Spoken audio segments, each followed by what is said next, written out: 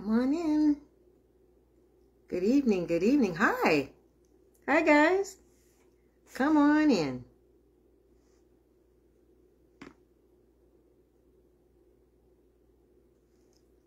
Hi, Dee Dee. How are you, dear? how are you, Dee Dee? Come on in. Hi, hi, Tawana. Hi, Trina. Hello there. Hi, Danielle. Kelly Smith. I can always count on you. Hi, Lydia. Tawana Nichelle. How are you? Penny Line. Love you so much. Thank you all. Make sure that you uh, put this prayer meeting on your page, okay? We're going to do Bible study more tonight. We may pray at the end, but I do just have a word that I'd like to share with you all first tonight, or most importantly, okay? So come on in.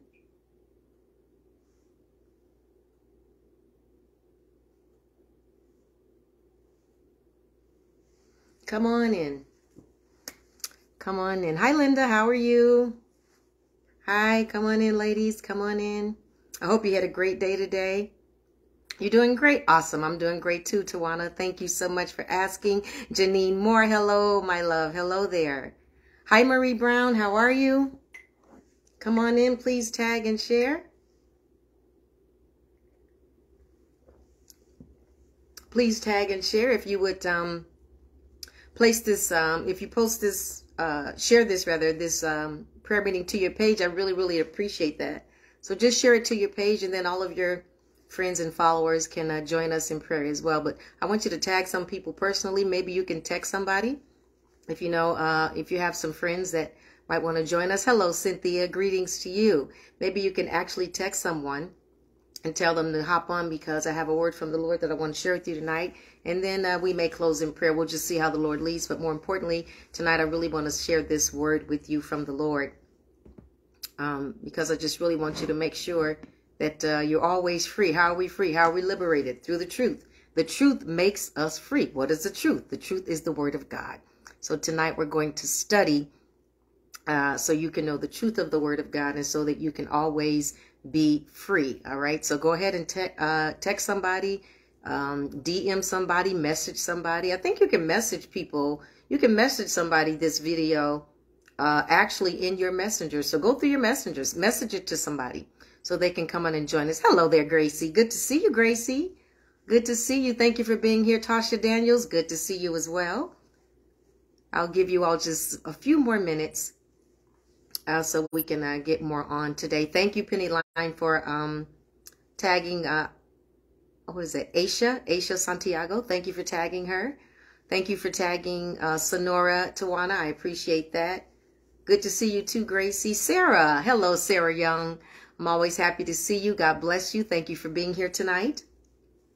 Thank you for being here tonight. So you all tag and share. Gwendolyn. Hi, Gwendolyn. How are you? Good to see you, Gwendolyn. So very good to see you. So very good to see you. Thank you, Janine. You'll message somebody. Thank you. Thank you, Janine. I appreciate that. I, I KL. Hello, KL. Love to you. Love to you.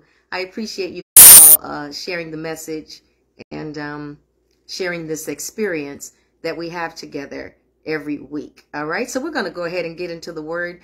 Uh, the title of the message uh, that I'm going to teach you tonight is um, it's a very provocative statement that I'm going to make because you usually you're usually uh, used to hearing it an, another way. But the title of the message tonight is Sin Should Bring Me Closer to God.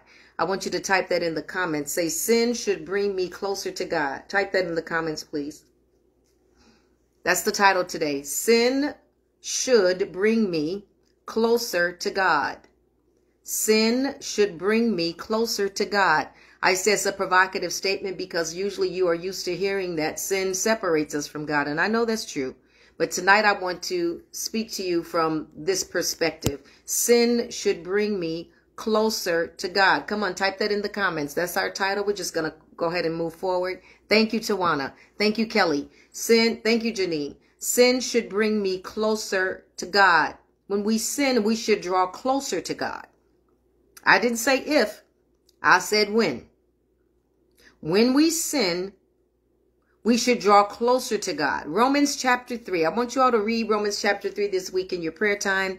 The third chapter of Romans, when you read that, you'll find these words there. For all have sinned and fall short of the glory of God.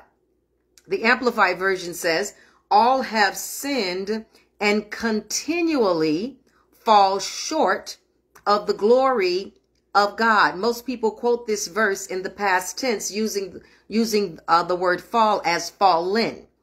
All have sinned and have fallen. That's really I, I, I would say it as well. And some, I, I found it, I think, in one version that says that. But more importantly, and most, mostly, when you see it in the scriptures, it's saying fall short, which gives people, when we say falling short, it gives people an inclination that the sin is past tense. Like once you become saved, you won't fall anymore. But the scripture actually says, uh, the fall is present. All have sinned and fall short. As I said, the Amplified Version says, continually fall short of the glory of God. All right? Fall short. This fall happens. I'm sorry, when this fall happens, um, what I want you to do and remember to do is not cut off your connection with God. All have sinned, all will fall short. We fall short of his glory. But what the, the most important thing that I want to teach you tonight is when you do fall short of the glory of God, do not cut off your connection with God. Lord, help me teach tonight. help me teach, Lord. Help me teach with clarity. When you fall short, do not cut off your connection with God. God does not cut us off, ever. God never cuts, cuts us off. Whenever we feel distant from God, we cut ties. God didn't do that. Whenever we feel distant from God, we have moved. God has not moved. We move. Okay? We move. So don't stop going to church when you fall short. Don't stay home from church when you fall short. I don't care if you sin on Saturday night. If you sin on Saturday night, I want you to get up and go to church on Sunday. I hope you hear me tonight. If you sin on Saturday night, get up and go to church on Sunday. You have a better chance of turning your life around. You have a better chance of rectifying your mistake in church than you do outside of church. This is why when you fall short, the enemy will tell you to get away and isolate yourself. No, go to church. Don't isolate yourself when you fall short. When you fall short, when you sin, Please, please do not stop praying. Do not stop reading your word. Do not walk away from God. Don't do it. Don't do it. The enemy loves for us to become isolated. He loves for you to feel embarrassed. He loves for you to feel ashamed and to get away from church, to get away from the people of God. If you find yourself that you've fallen in sin, the opposite is what you should do. Go towards the church. Go towards prayer. Go towards your Bible study. Keep going towards it. God is, God is not leaving you. What did the Bible tells us? Jesus said, I came to the world. I didn't come to the world to, to, to condemn the world. He said, I didn't come for that. I didn't come to condemn the world. I came so that the world through me might be saved. God does not condemn you when you sin. Does the Holy Spirit convict us? Absolutely. But God does not condemn us. One of the biggest misconceptions, my dear sisters, is that uh, the church is full of perfect people. I don't know why people think that. that is one of the biggest uh, misconceptions or uh, uh, um, of, of the church. The church is full of people who struggle and have issues just like everybody else. The difference in the people that are in church is that they repent and they keep going. Okay, I, am gonna I'm, I'm gonna sip my tea on that. I'm gonna let that sit with you for a minute. Okay, I'm gonna let that just rest. I'm gonna let that sit with you for a minute. That's the difference. We all fall short. I fall short. I fall short, my dear sisters. we all fall short. Everybody. This is why so many people, it's so hard to get people, um, the, some people in the world to come to church or to want to be a part of our family because they feel like, well, I'm not perfect. I'm not either. That's why we go to church. That's why we pray. That's why we study. Nobody is perfect. Nobody. The difference is the people that go to church, we know how to repent. We keep going. If you are struggling, the church is the place for you. The church is a place for you. Your personal times of prayer and Bible study, if you are struggling, that is the time to do it. You don't just want to get in God's presence and, and study his word when you feel like you're all good. You want to do it when you feel like you're bad. that you especially want to do it then. That's when we need to draw closer to the Lord. That's why I told you the, the, the, the um, the title of this message tonight is sin should bring me closer to God. It should bring, bring me closer to God, closer to him. That's what it should do. Go run to your prayer closet if you feel like you are in sin. Run to your prayer closet. That's when God wants to talk to you. That's when he wants to talk to you. I just get so vexed with people who feel like, you know, everybody in church is perfect. No, we're not. Nobody is perfect. There is, Jesus said, there is none righteous but the Father. That's it. That's all. We all are trying to get this thing right. We all are trying. When I was studying this word, uh, um, for you this week, the Lord told me, he took me back to Matthew 26. Matthew 26, when Jesus told Peter, you're going to deny me three times. G- Peter's like, oh no, Lord. Oh Lord. Oh my Lord. I would never do that. Jesus is like, yeah, you're going to do it. You're going to deny me three times. Oh, Lord, not me. Oh, no, Lord, I would never deny. He's like, yeah, you're going to do it. You're going to deny me three times. So sure enough, when they came and took Jesus into the court, when, when they came and arrested Jesus, was uh, you know when he he was back there in the court with Barabbas, and they would well you know the whole story of that. So when Jesus was in court, the, the Bible says that Peter was outside of the court, like in the courtyard. And this girl came up to him and said, I think you one of them. You one of the disciples. Peter's like, no, I'm not. Just like that. He just told Jesus, Oh, Father, I would never. Oh, oh, Jesus, I would never deny you. How many of us have ever told the Lord, Oh, my Lord, I would never do that. And we found ourselves doing these things. Peter said, Oh, no, Lord, I would never deny you. I would never, I would never deny you. The girl said, I think you want to, he was like, I'm not. Someone said it a second time. He said, I'm not. I am not one of Jesus' disciples. A third time. Jesus told him he was going to do it three times, right? A third time, here comes the third accusation. I know you're a part of the disciples. I know you're a follower of Jesus. Peter wanted to wipe Jesus's DNA off of him. He wanted to wipe the DNA of Jesus off of him so much, he started cursing. They said, you're a follower of Jesus. Beep, beep, beep. I'm not. I'm not. Beep, beep, beep. I'm not. he literally started cursing. And the Bible says immediately after he denied Jesus the third time, the cock crowed, crowed. And when, when Peter heard that cock crow after he had denied Jesus that the third time, the Bible says that Peter wept bitterly. He just began to weep bitterly because his mind went back to when Jesus told him, you gonna deny me. And he was like, no, Lord, no, Lord, no, no, I would never, I would never. Can I share something with you? We're talking tonight. I couldn't wait to talk to y'all tonight. Can I share something with you? Sometimes you, you would think to yourself, oh no, I would never. You don't know. This is why we pray and we ask God to keep us. You don't know. You don't know. You don't know. I was I was going along in life one time. I, I love for God to teach me lessons because I can teach other people. And I was thinking, woo, I've been good. You know, I, I haven't had any temptation at all. I'm doing great. And I was like, what? I'm doing fine, you know. I'm doing fine in this walk of holiness. I'm doing just fine. I'm doing good. And then I had a temptation. Then I had a temptation. And you know what the Holy Ghost said to me? He said, it's not that you're walking so circumspectly and so holy. I'm holding back the temptation. God help me tonight. He said, I'm holding back the temptation. It's not that you're so righteous. I'm literally holding back the temptation. God help me, Jesus. This is why I want to tell you all, sin is in, for everybody is subject to it. this is why we have to stay in the prayer.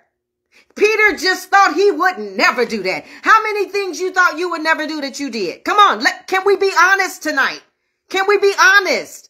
You know what? I like to preach and teach and, and, and pray with my Wonder Women and with my pop-up nation. We real. You cannot help people if you're not real. I want to help women to be all that they can be. The oh God, I feel your presence. The only way I can do that, I gotta be real with you. The reason that we're walking circumspectly and holy before the Lord, the God is holding back the tempter. God help me tonight. Come on, let's put that in the comments. Say, Lord, hold back the tempter. Come on, hold back the temptation. Come on, everybody. I don't want to move till you type that. Say, Father, hold back the temptation. Come on, put it in there. Say, Lord, hold back the temptation because we want to walk circumspectly before you. What does, what did Jesus tell us in, in, in, in the Lord's Prayer? He said, lead us not into temptation. Lead us not into it, but deliver us from evil. Come on, put it in there, sisters. Come on, let us never, let us never be pompous. Let us never be prideful. We are only what we are by the grace of God. Hallelujah. Thank you, Lord Jesus. Put it in there. Say, yes, penny line. Father, hold back the temptation. Hold it back. Kamisha, hold back. Tell God. Come on, let's humble ourselves tonight. Lord, hold back the temptation. So the Bible says that Peter immediately, after the cock crowed, um, after he denied Jesus three times and the cock crowed, the Bible says Peter wept sorely. He wept bitterly. And when I read that, the Holy Spirit said to me, that was immediate repentance. That was immediate repentance. Peter immediately re- repented and then he kept going. I want you to type this in the comments, my dear sisters. Say, I will practice immediate repentance. Come on, put that there. Come on, put that in the comments. Say, I will practice immediate repentance. Come on, say it. Say, I will practice immediate repentance. I will repent quickly. Come on. Come on, put it in the comments. Say, I will repent quickly. I will practice immediate repentance. Come on. Yes. Thank you, Lydia. Thank you, Tawana. I will practice immediate repentance. The Bible says Peter wept sorely. That was immediate repentance. Real repentance will cause tears. Real repentance, you have to have a contrite heart. What did David say? David said, give me a contrite heart, meaning let me really be sorry. Let me really be sorry for it. He was immediately repentant. He, uh, he, he repented immediately. And then we go on to Acts chapter 2, and on the day of Pentecost, do you know that Peter preached to 3,000 people when they got saved? You know why Peter did that? Because he repented immediately and he kept going. This is what I'm saying to us. If you sin, no, I, I'm sorry, Lord. No, it's not if, it's when. When we sin, repent immediately and keep going on with God, my dear sisters. Keep pressing forward with God. Peter repented on the day of Pentecost. God used him to preach to 3,000 people on the day of Pentecost. The Bible says Peter preached 3,000, listen, 3,000 people were added to the church because he repented and he kept going. Guess what Peter uh, preached, you guys? He preached repentance. You know why he could preach repentance? You know why 3,000 people came to be saved? Because he lived it. God help me today. You can't preach things you haven't lived. You can't teach things you haven't lived. Hallelujah. Thank you, Lord Jesus. If Peter would have run away from Jesus when he denied Jesus, if he would have just ran away and said, Oh, I, I sinned. That's it for me. Hallelujah. If he would have done that, he wouldn't have preached to those 3,000. So I'm saying to you today, I don't know who I'm here for. I don't know. But I'm saying to you today, my dear sisters, I don't care what you've done. Go back to God. Get back in your place. Go back to church. I don't care what you've done. Get back in your place. Your destiny depends on your connection with God. The success of your business depends on your connection with God. Your promotion depends on your connection with God. Your brand, that brand that you're trying to advertise, that you're trying to establish, it depends on your connection with God. Your successful future depends on your connection with God. Your marriage, your children, everything about you depends on your connection to God. So as a, again, let me say that when we sin, keep your connection. Woo! Hallelujah. God, help me today. When we sin, keep your connection. Hallelujah. I want you to tag some of your sisters that are on here. Tag them, say, sis, keep your connection. I don't care. Come on, put it in there. Let's minister to each other today. Tag somebody. Keep your connection. Tawana, keep your connection. Penny Line, keep your connection. Delois, keep your connection. Dee Dee, keep your connection. Marie, keep your connection. Hallelujah. Keep your connection. Keep your connection. The devil wants you to think that you're not worthy to be in the presence of the Lord. The devil wants you to think uh, that you are not worthy to be a part of the family of God. The devil wants you to think that you don't, you can belong in the church with the perfect people. Nobody's perfect. Get back in there with all those imperfect people and worship your God. Hallelujah. Keep going. Glory to God. Keep going, my dear sisters. When the devil tells you you're not worthy, you know what? You say, yep, you, you're right. You're right. But I, but I know I am worthy. See, this is why we study. I tell you all, all the time, we don't read the Bible. We study. There's a difference in reading the Bible. There's a difference in studying the Bible. We study the Bible. So let's look at Isaiah 64. Okay? Let's look at Isaiah 64. Isaiah 64 says, listen to this carefully. We all are infected and impure with sin. Let me say that again. I'm in Isaiah 64. We all are infected and impure with sin. When we display our righteous deeds, our righteous actions, they are nothing but filthy rags to God. Let me read that again. The Bible says, this is Isaiah 64, we are all infected and impure with sin when we display our righteous deeds, when we say how great we are, when we say, look at what I've done, look at how I'm walking with God, when we display our righteous deeds and actions to God, there is nothing but filthy rags. Your best is filthy to God. Your best is filthy to God. I want you to think about the most righteous person in your life. Whoever you feel is righteous, your pastor, uh, the bishop of your your um, denomination, whoever you esteem high, whoever you feel is righteous. I want you to think about this. To God, their best is filthy. The only way that we are accepted to God, the only way we are accepted is through the blood of Jesus. That's it. That's all. And through the grace of God. We can never be good enough. I don't care how good you are. It's still filthy to Jesus. It's still filthy to God.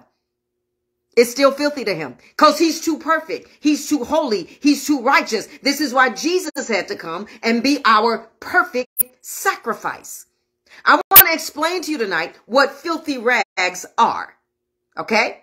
In this scripture in Isaiah 64, I'm going to explain to you what filthy rags are. Okay. Filthy rags means an extreme form of ceremonial uncleanness. Filthy rags is also referring to our righteousness as that of an unclean leper. When there were lepers in the Bible in public, if you were coming towards a leper, you couldn't get within a, a certain uh, feet footage of towards a leper. You can only come a few feet. When a leper saw you coming, they'd have to, they had to, um, scream out, unclean, unclean, unclean. Don't come. I'm unclean. I'm unclean. That's what lepers did. And Isaiah is saying that our filthy rags are akin or related to that of unclean lepers. Filthy rags in this verse, my dear sisters, listen to me real closely. Lean in. Let me talk to you. Filthy rags means a menstruous rag. That's what filthy rags are. When the prophet Isaiah wrote this book, women used rags during their menstrual cycles.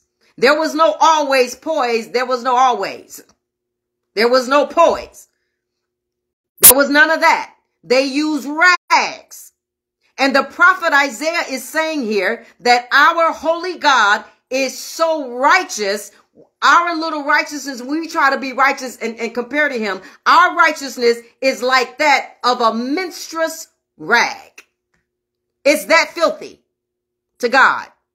The only connection we have with God is through the blood of Jesus. If you notice, whenever I pray, I always, God help me, I feel the anointing. I always stop by the cross. I always thank Jesus for his blood. I always thank him for his sacrifice because that's the only way I can talk to God. I can't do anything great enough. Any, my best is, is filthy. But the, whoosh, shaya, mm, Jesus, I love you. But the blood of Jesus makes me pure. The blood of Jesus allows me access. The blood of Jesus. God can't look at me. I'm too filthy. Hallelujah. My best is filthy to him. Oh, but he can look at Jesus. Hallelujah. And that's how we connect with him. That's the only way we, way we connect with him. That's why you should always, always worship Jesus for the sacrifice because that is the only way we are connected to God. Everything you have came through the blood of Jesus. Every blessing you have came through the blood of Jesus. Every piece of success you have, it came through the blood of Jesus. Only thing we deserve is death. Glory to God. This is why the blood songs, I can't take blood songs much. Anybody that knows me personally, they know it. I can't take I can't take blood songs. I can't take songs about the cross.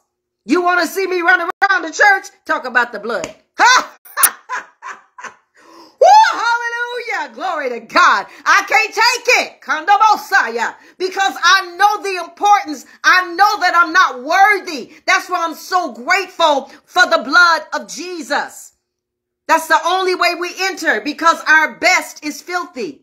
But when Jesus attaches his blood, glory to God, to us, we are accepted. Hebrews 13 12 says, Jesus suffered outside the city gate and made the people holy by his own blood. The only way we are holy, the only way we are made righteous, my dear sisters, is because of the blood of Jesus. I want you to type this in the comments. I am made holy through the blood of Jesus, period. Come on, put that in there. Say, I am made holy through the blood of Jesus, period. That is the only way I'm holy. That is the only way I'm righteous. My righteousness is filthy. The only way I'm righteous is through the blood of Jesus. Come on, put it in there. Say, I am made holy by the blood of Jesus. That's it. That's all. I am made holy by the blood of Jesus. Come on, let's say it. I'm going to give you a moment. That's the only thing that makes you righteous. That's it. That's it. That's the only thing that makes you righteous. That's the only thing that makes you holy. It's the blood. Thank you, Penny Line. Yes. Thank you, Tawana. Thank you, Cynthia. I am made holy by the blood of Jesus, period. That's it and that's all. Another reason why we are connected to God, the reason why we can stay connected is because of grace. The blood of Jesus and the grace of God. Ephesians chapter 2. Ephesians chapter 2. For by grace are you saved through faith that is not of yourself. It is the gift of God. By grace are you saved. Grace saves me. How did I get this grace? I got this grace. I accepted it through faith because I believed it. Hallelujah. Woo, I love the Lord. I hope this word is blessing y'all tonight. I couldn't wait to talk to you. I'm on fire. I am saved by grace through faith. It is the gift of God. I received this gift. It is not of your actions. It is not of your deeds. It is not of your accomplishments. It is by grace, which is God's gift to you. Now listen to me, sisters. If you truly believed that it is not by your own deeds or your own actions, when we sin, we wouldn't turn away from God. I'm going to say that again.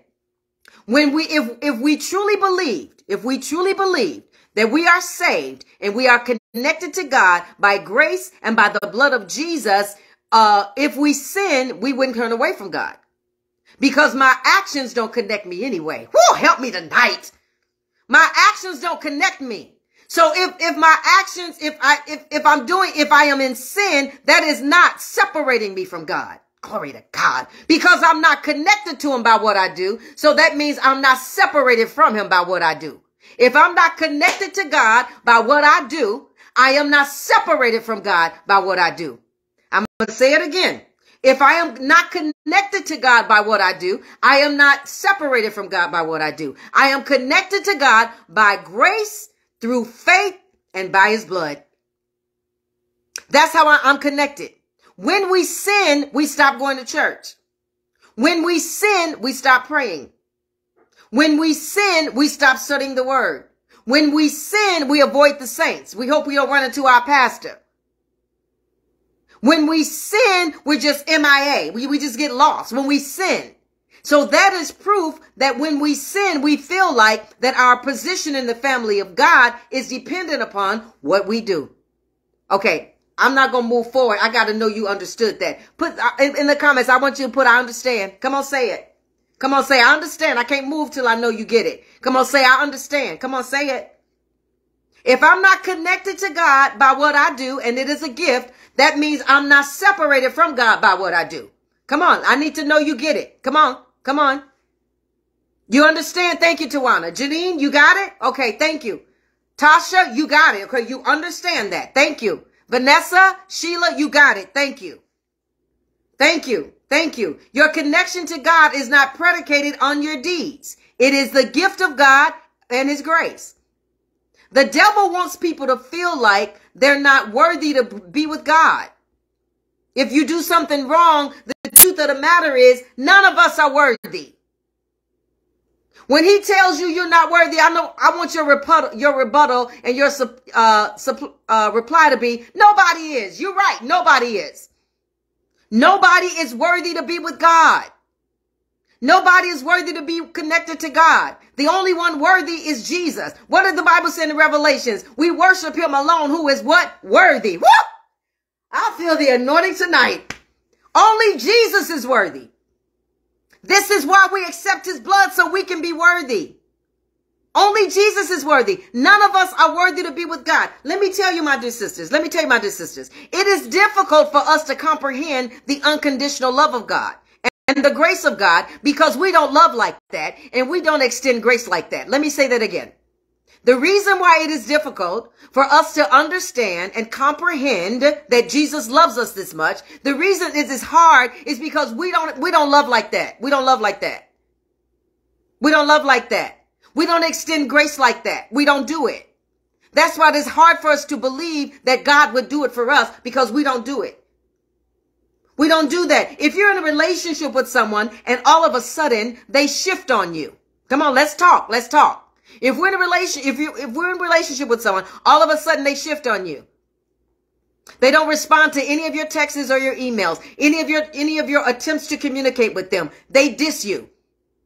They ignore you. They don't return any of your calls. They never have time for you. They don't react to any of the love that you show them. Eventually, I'm going to tell you what you're going to do because I'm telling you what I would do. Because I have, uh, because th- this is what, this is not the love of God. As human beings, this is what's going to start happening. You know what? You're going to start feeling like a fool. And you know what you're going to do? You're going to stop showing those acts of love. Okay. Will you please let me, sisters, talk to me in these comments. Am I telling the truth? After a while, you'll feel like a fool. It's like, why am I showing love to these people and they don't even respond to me? Come on. Yes, Gwendolyn, if they ghost you after a while, what are you going to do? You're going to stop. You're going to stop. Even in a romantic relationship, we will encourage our sisters. If he's not responding to your love, come on now. If he's not responding to your love, we will tell our sisters, stop, sis, leave him alone. Just, just, just leave him alone. Don't, you will stop showing loving gestures towards people. If they stop loving you, you stop loving them because that is how we are. You will feel foolish. You will all of a sudden, you'll say, uh-uh, I'm better than that. Come, sisters, thank you, Tawana. Thank you. You'll be like, I'm better that. Well, I don't have to, I don't have to show love to these people. They're not showing love to me. You will stop. This is why it is difficult for us to believe that God still feels the same about us when we ignore him, that he still feels the same about us when we disrespect him, that he still feels the same about us when we don't return his calls, we don't return his texts, when we cheat on him. God help me tonight. When we cheat on him, he says, I'm married to the backslider. He'll never divorce you. God help me tonight. This is hard for us to feel, to, to comprehend that. When we don't return his love, it is hard for us to wrap our brains around the fact that God will still love us. It is hard for us to wrap our brains around the fact that when we sin, he still loves us. It's hard for us to do that. It's hard for us to do that because when someone sins against us, we did, we let them go. But God is not like that. Oh my God, he loves us so much. Come on, type this in the comments. Say, oh, how he loves me. Come on, put it in there. Say, oh, how he loves me. Come on. Put it in there, sister. Say, oh, how he loves me. Come on. Oh, how he loves me. Oh, oh, how he loves me. Come on, put it in the comments. Say, oh, how he loves me. Let's just take a moment to worship him for that. Oh, how he loves me. He loves us so much. He lo- thank you. He loves us so. Oh, yes, Gwendolyn. When none, when nothing else could help, his love lifted me. The Bible says, while we were sinners, he didn't wait for us to get it right. He didn't wait for us to love him back. He didn't wait for that. While we were sinners, he died for us. Oh, how he loves me. Oh, how he loves me. Now, this message of grace, my dear sisters, it must be handled with kid gloves. For those of you that are on here tonight, if you preach and teach, you must handle the, the message of grace with kid gloves. You got to teach this very carefully. Because if we're not careful, we will lead people to believe that they don't have to follow the teachings of Jesus Christ. And they can just depend on grace because, you know, God's going to love me anyway. You know, God, I have grace. God's going to love me anyway. No, no, no, no, no, no. Let's go back to the Bible. Tonight we're doing Bible study. Let's go back to the Bible. Let's go back. Let's go back. Romans 6. Romans 6 tells us where sin increased, God's remarkable gracious gift of grace, his unmerited favor, has surpassed it and increased even more. Many of you are used to this in the King James Version when this verse says, where sin abounds, grace did much more abound. But shall we go on sinning? Paul is saying this. He says, shall we go on sinning that grace should increase? Shall I keep sinning so grace should increase? Paul said, of course not. By no means, certainly not. No, God forbid that we continue to sin so that grace can increase. We should not continue to sin. Just because we know we have this unmitigated grace, just because we know we have the love of God, just because we know that God still loves us when we sin, that does not mean that we should continue to willfully sin. We should not abuse this grace and take this grace for granted. See, this, this, this is, this is the caveat of teaching grace. Yes, we have grace. But should we continue to sin so we can have more grace? No, no, no, no, no, we should not. We should not. This scripture is the last scripture I want to leave this with, leave you with tonight. Is this the last one? No, I got one more. But this is one scripture that I want to leave you with tonight. This is in Romans 2. Romans 2. It says, it is the goodness and kindness of God that is intended to lead us to repentance and turn us away from sin. Let me say that again. This is Romans 2. Romans 2. It says, it is the goodness and kindness of God that is intended, intended to lead us to repentance and for us to turn away from sin. What is the scripture saying? God is so good to you God loves us so much. He is hoping that his love for you will keep you from sin. God is so good to us. He is hoping that his love for us will keep us from sin. God help me today. That's what it is saying. This is a scripture that I, I, I use for myself. I started using this scripture in Romans 2 when I was a teenager. Because when you're a teenager, that's when you have a lot of peer pressure. When you're a teenager, that's when you when you want to be a part of the crowd. That's when you want to go with the flow. You have a lot of peer pressure when you're a teenager. And I learned this scripture in high school. It is the goodness of God that is intended to lead me to repentance, to keep me saved, to keep me from sin. I would literally think to myself, if I was tempted to do what my friends were doing, I would literally say to myself, God is too good to me. I cannot sin. God is too good to me. I do not want to hurt the Lord. God is so good to me. God has blessed me all my life. All my life I've been blessed. That's why I love uh, Cece's song about, the, she says, all my life you have been faithful. All my life you have been so, so good. With every breath that I am able, I will sing of the goodness of God. As a teenager, I will say, Lord, I don't want to hurt you, Jesus, because God is good. And that's what that scripture is for, my dear sisters. The goodness of God is to lead you to say, Lord, I don't want to hurt you. When God keeps blessing you, you should say, Father, I want to spend more time with you. When you get more favor and more blessing and more raises and more promotions, that should allow you to say, Lord, I want to, I don't want to do anything to offend you, Lord. I don't want to do anything to hurt you because you have been so good to me. Woo!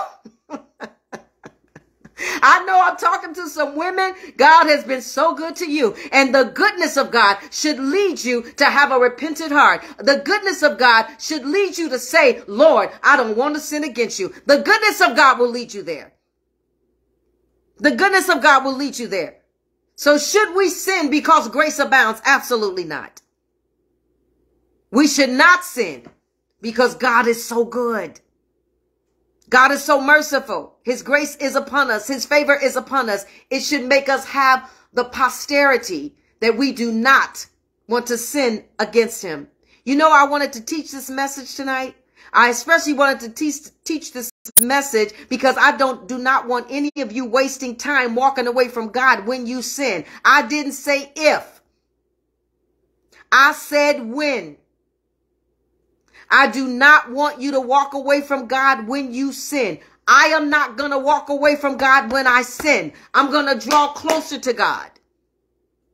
That's what you should do. I had to restore a Wonder Woman that had some challenges. And it angered me. It literally angered me because she had wasted so much time because she felt like she wasn't worthy because she was dealing with a challenge and it angered me. I was like, where have you been? She didn't come to the anointing service and I know she would have been there. I said, where have you been? So when we finally connected, she had some challenges. I said, listen to me. When you have challenges, run to prayer. When you have challenges, run to me. Don't avoid me because I'm going to restore you. When you have challenges, run to the church. When you run to the church. Don't wallow in that. I told her, I said, repent and let's go. God help me today. Repent and let's go. Let's keep moving, my dear sisters. Listen to me. When you sin, do not walk away from God. Please don't. Run to God. Go, go in prayer. Study your word. Please. God is not leaving you. God is not mad at you. We, we, as long as we walk in this earth, there will be challenges in the earth, but that's what the blood of Jesus is for. So I, it angered me. I said, I gotta preach, teach, pray this on pop up because I don't want another one of you.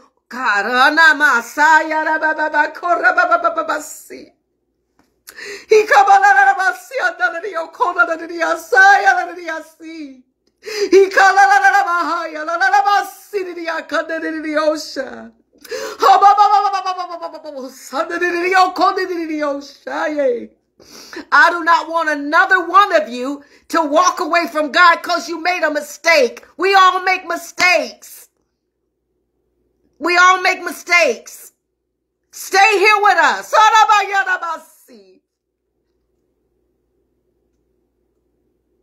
I don't want to lose one.